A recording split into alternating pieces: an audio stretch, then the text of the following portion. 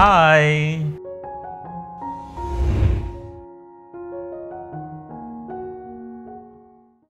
What are the tests that are advised to the couple prior to pregnancy? In general, the couple should undergo certain common tests, testing for certain infectious uh, uh, agents like HIV and sexually transmitted diseases, as well as other viral conditions such as the TORCH test and hepatitis B virus.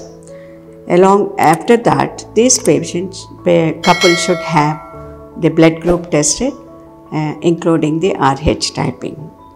Number three, the, if there is a family history of a genetic disease, the particular genetic condition should be evaluated in that family and the couple should undergo a carrier testing.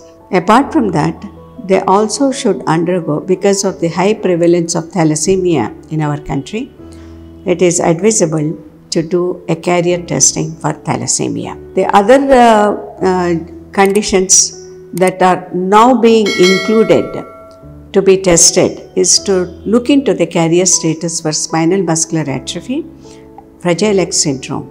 So, these are the things which are now being done for the couple before they go for the pregnancy.